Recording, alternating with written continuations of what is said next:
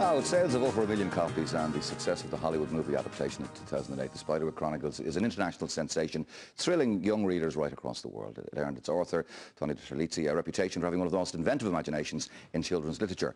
Following up on this massive success, Tony's just launched the first book in a new trilogy called The Search for WondLa, and he joins us now to tell us more. Thank you very much, sir. You're very welcome. Thanks for having me. Good to Good to be here. Um, I think Steve, it was one said of Stephen King about his imagination. He, he said something along the lines of, uh, I have the brain of a small boy. And then he paused and said, and I keep it in a jar on my desk to tie in with the horror, stu- the horror stuff. Wh- wh- Where do you get all this um, creativity from? It's very similar. I mean, I, I do. I tap in. I think making books for children, you have to kind of tap into what it was like being a kid yourself. So oftentimes kind of my mantra is, you know, what would 10-year-old Tony want, you know, the old 40-year-old Tony can make.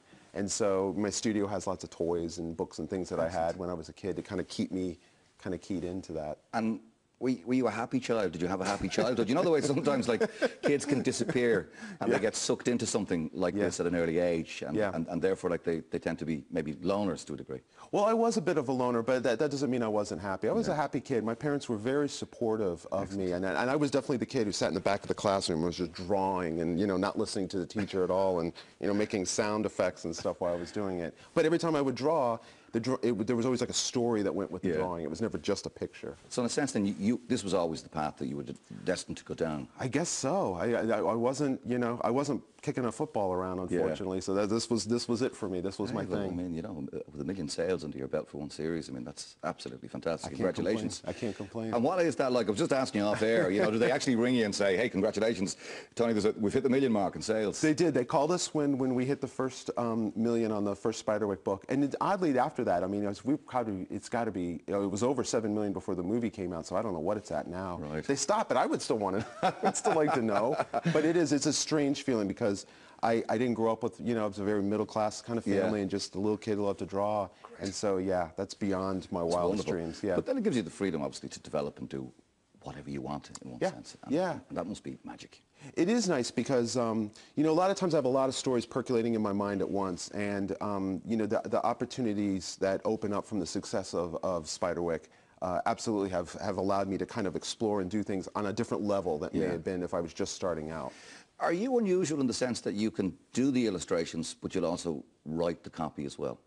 Yeah, there's a, there's a, there's a number of, of authors and illustrators out there, but I, I think um, there's not a lot, you know, Yeah, that, that yeah. do, especially, I think they tend to generally do like picture books for a younger age, which I've done, but I really love doing, uh, you know, what, what we call in the States like middle grade books. Right. You know, when you're like 10, 11, 12 years old. And to me, that's such a critical point because it's oftentimes when a, a child goes from reading because they have to, Yeah, yeah. reading now because they want to. And that's when, for me, that's when I discovered like The Hobbit and, you know, Yeah. and, and Grimm's fairy tales and all that stuff. So Which, is- which obviously, well, I suppose that begs the obvious question, the chicken egg, and egg question. Which comes first then, the, the, the little drawing and then the words, or is it the outline for the story and then the drawings come? it's a bit it's a bit organic. A lot of times it will start. Um, well, let me, I'll kind of show you how it starts. Actually, Please, yeah. show. Yep, yep.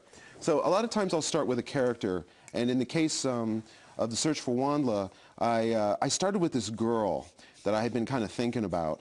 And she was kind of inspired by some of my favorite uh, heroines from, from uh, children's books that I loved as a kid, like Alice's Adventures in Wonderland and uh, Wendy from Peter Pan and Wendy and um, Dorothy from The Wonderful Wizard of Oz. And all those stories had kind of a, a common thread about a girl who kind of leaves home and goes out into kind of a magic place to kind of understand what home and a family is. And they kind of return with that knowledge.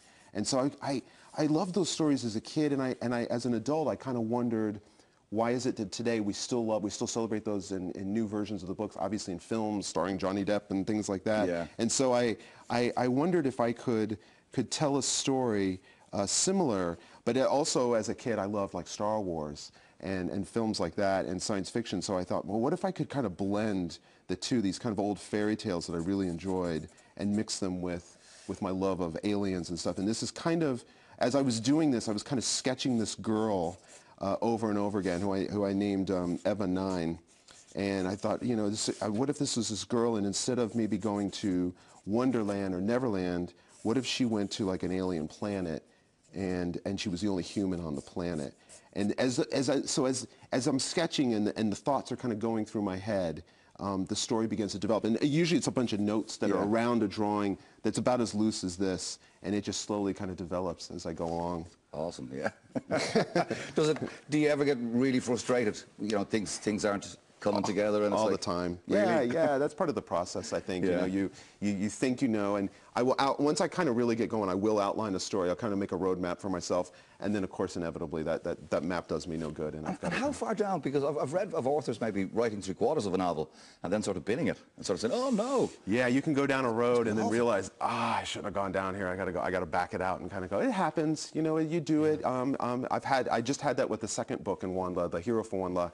I, I, the, they go to a big human city, this big utopian futuristic city, and I wrote the whole thing and realized I, I don't have it right. I fig- I've missed something somehow. Let's go all the way back and rebuild the Re- city. and redo it. Um, Spiderwick Chronicles is, is being redone in paperback now, and for younger viewers who might not have got it first time round, now's the opportunity to.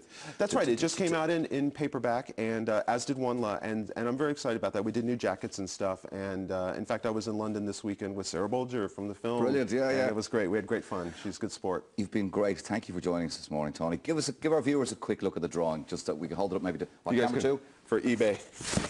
Yeah, You get good 50 cents for that. that's fantastic. No, you put a signature on that, we get a hell of a lot more. Thank you very much, Tony. Good Thanks luck. for having me. And uh, safe trip back. Thank you indeed. thank you.